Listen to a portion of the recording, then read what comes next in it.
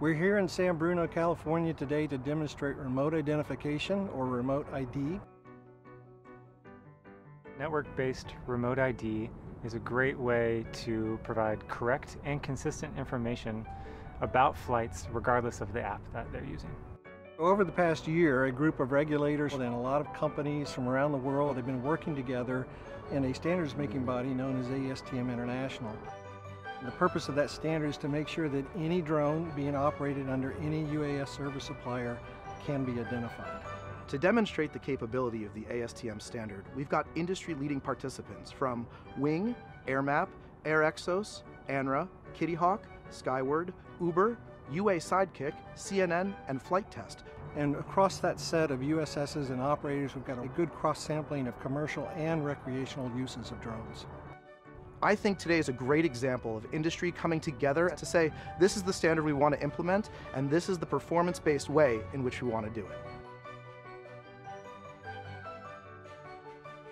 Today we saw a complex utilization of the airspace we had two package delivery providers as well as inspections and hobbyist utilization of the airspace. And then onlookers were able to use one of several different applications in order to identify the flights. That information was made consistent uh, across all those different applications using something called the Linux Foundation's Inter-USS Instantiation Remote ID.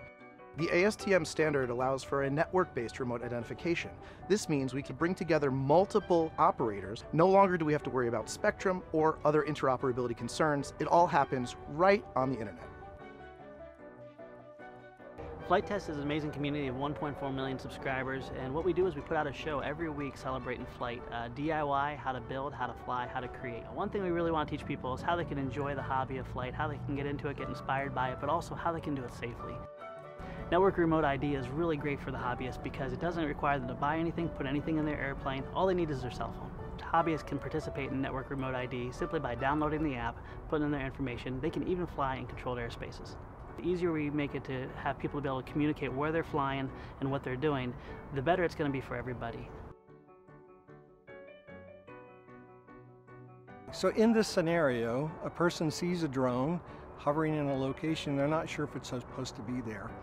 So they call their facility manager, and the facility manager is 10 miles away, uh, but they're still able to use the network remote ID capability to put in the address and see that there is a drone operating there. The ASTM standard allows the person that's in a remote location to check on drones flying at a particular address and it makes sure that they don't see all the other drones that might be in the area, but just in the location where they're searching. This is an important privacy consideration both for drone operators and for potential customers of drone services people are obviously going to have questions about drones operating near them. The great thing about the ASTM standard is that the onus is very low on every single party involved. Operators today are able to implement with minimal overhead, and consumers of the technology are able to get the information they need with very little implementation. It's not based on regulations that are old in the past, they're based on the future of what this industry can be.